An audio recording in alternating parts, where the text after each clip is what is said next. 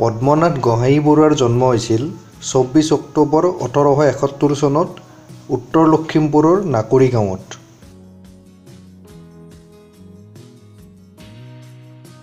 পদ্মনাথ গোহাঁই বৰুৱাৰ মৃত্যু হৈছিল সাত এপ্ৰিল ঊনৈছশ ছিয়াল্লিছ চনত।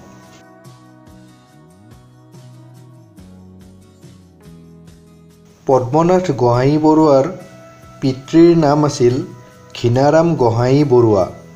আৰু মাতৃৰ নাম আছিল লম্ভী দেৱী।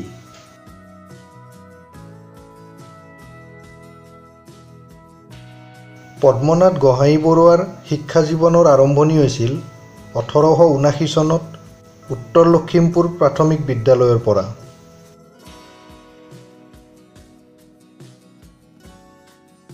অসম সাহিত্য সভাৰ প্ৰথম সভাপতি আছিল পদ্মনাথ গোহাঁই বৰুৱা। আৰু এই অসম সাহিত্য সভাৰ প্ৰথম অধিৱেশনখন অনুষ্ঠিত হৈছিল ঊনৈছশ সোতৰ চনত শিৱসাগৰ জিলাত।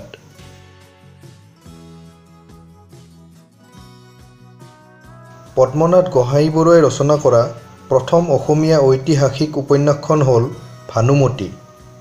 আৰু এই উপন্যাসখন প্ৰকাশ হৈছিল ওঠৰশ নব্বৈ চনত।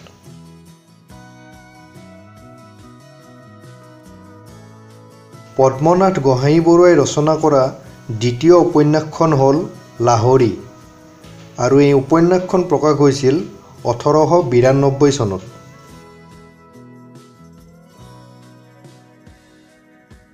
পদ্মনাথ গোহাঁই বৰুৱাই সম্পাদনা কৰা জীৱনী সংগ্ৰহ গ্ৰন্থখন প্ৰকাশ হৈছিল ঊনৈছশ পঁচিছ চনত।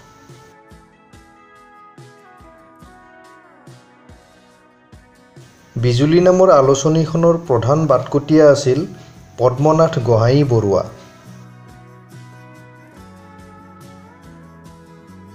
পদ্মনাথ গোহাঁই বৰুৱাই বেণুধৰ ৰাজখোৱাৰ লগত লগ লাগি ৰচনা কৰা বিহুগীতৰ গ্ৰন্থখন হ'ল ডেকা গাভৰু।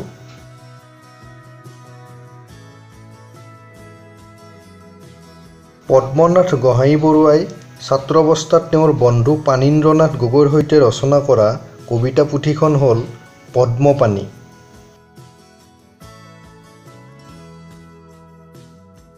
পদ্মনাথ গোহাঁই বৰুৱাই অসমৰ ইতিহাসৰ ওপৰত ৰচনা কৰা উল্লেখযোগ্য নাটককেইখন হ'ল জয়মতী। এই নাটকখনৰ ৰচনাকাল আছিল ঊনৈছশ চন। গদাধৰ। এই নাটকখনৰ ৰচনাকাল আছিল ঊনৈছশ সাত চন। সাধনী। এই নাটকখনৰ ৰচনাকাল আছিল ঊনৈছশ এঘাৰ চন আৰু লাচিত বৰফুকন। এই নাটকখনৰ ৰচনাকাল আছিল ঊনৈছশ পোন্ধৰ চন।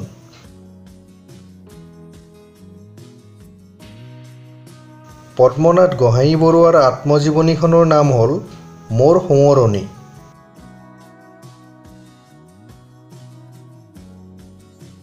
পদ্মনাথ গোহাঁই বৰুৱাই ৰচনা কৰা পৌৰাণিক নাটকখন হ'ল বান ৰজা। আৰু এই নাটকখন তেখেতে ৰচনা কৰিছিল ঊনৈছশ বত্ৰিছ চনত।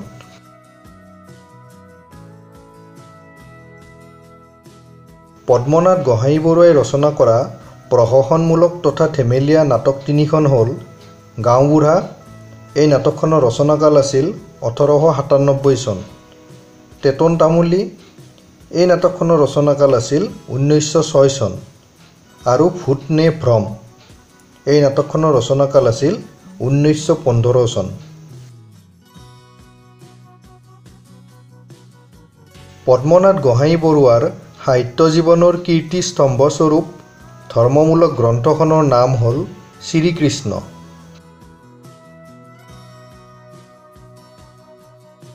পদ্মনাথ গোহাঁই বৰুৱাই ৰচনা কৰা কাব্যপুথিকেইখনৰ নাম হ'ল পদ্মপাণি এইখন দ্বৈতভাৱে তেওঁৰ বন্ধু পানীন্দ্ৰনাথ গগৈৰ সৈতে ৰচনা কৰিছিল। লীলাকাব্য জোৰণি আৰু ফুলৰ চানেকি।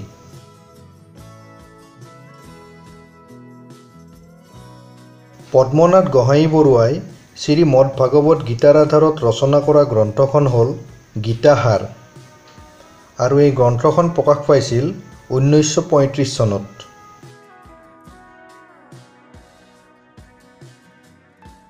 অসমীয়া সাহিত্যৰ পিতামহ বুলিলে কাক বুজা যায়?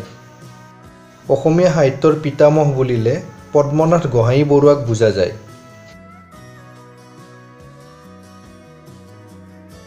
অসমীয়া উপন্যাসৰ জনক বুলি কাক কোৱা হয়? পদ্মনাথ গোহাঁই বৰুৱাক অসমীয়া উপন্যাসৰ জনক বুলি কোৱা হয়।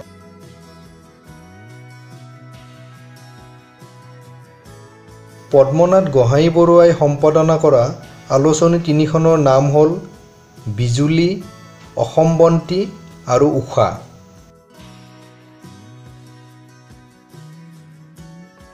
পদ্মনাথ গোহাঁই বৰুৱাই ৰচনা কৰা একমাত্ৰ গীতি কবিতা পুথিখনৰ নাম হ'ল জোৰণি।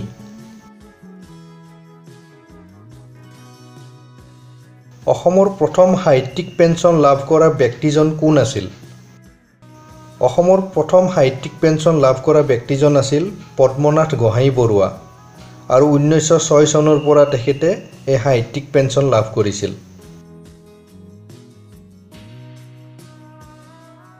পদ্মনাথ গোহাঁই বৰুৱাই ব্ৰিটিছ চৰকাৰৰ পৰা ৰায় বাহাদুৰ উপাধি কেতিয়া লাভ কৰিছিল? ঊনৈছশ তেত্ৰিছ চনত পদ্মনাথ গোহাঁই বৰুৱাই ব্ৰিটিছ চৰকাৰৰ পৰা ৰায় বাহাদুৰ উপাধি লাভ কৰিছিল।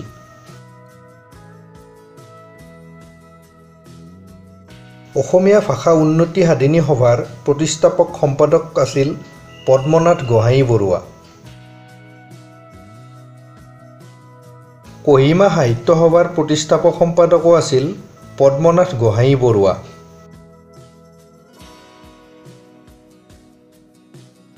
পদ্মনাথ গোহাঁই বৰুৱাই সভাপতিত্ব কৰা অসম ছাত্ৰ সন্মিলনীৰ তৃতীয় বাৰ্ষিক অধিৱেশনখন ক'ত আৰু কেতিয়া অনুষ্ঠিত হৈছিল? পদ্মনাথ গোহাঁই বৰুৱাই সভাপতিত্ব কৰা অসম ছাত্ৰ সন্মিলনীৰ তৃতীয় বাৰ্ষিক অধিৱেশনখন ডিব্ৰুগড় চহৰত ঊনৈছশ ওঠৰ চনত অনুষ্ঠিত হৈছিল।